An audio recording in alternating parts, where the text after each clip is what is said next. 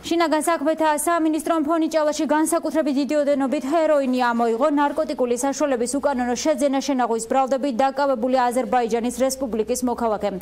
პოლიციამ ნივთმტკისებად 4 შეკვრა დაფასოებული 324 გრამი ჰეროინი ამოიღო, რომელიც ბრალდებულს ფეხსაცმლის ქუსლებში ჰქონდა დამალული. ჩადენილი დანაშაული 8-დან 20 წლამდე უვადო თავისუფლების აღკვეთას ითვალისწინებს.